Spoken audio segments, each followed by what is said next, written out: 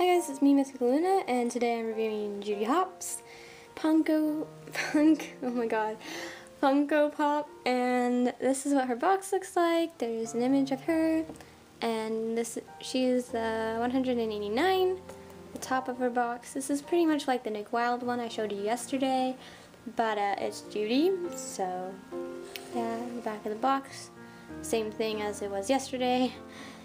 Um, and the side of her box is one of her. This is Judy Hopps and 169.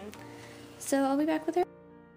Okay, so here is Judy Hopps out of the box. So uh, she has this like different color like scheme around her eyes and she has little eyelashes and she has a little badge and this one is actually way more detailed than Nick I must say and she does come with a stand that she can pop off of pretty easily, actually.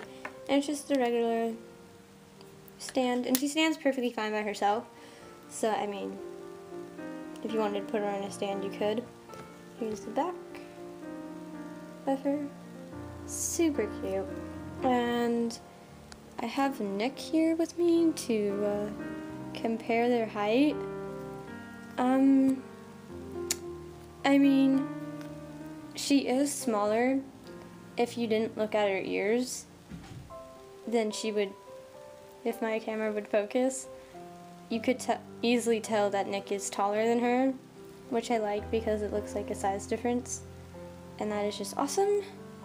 And yeah, guys, thanks for watching. Please subscribe, comment, and thumbs up this video if you like.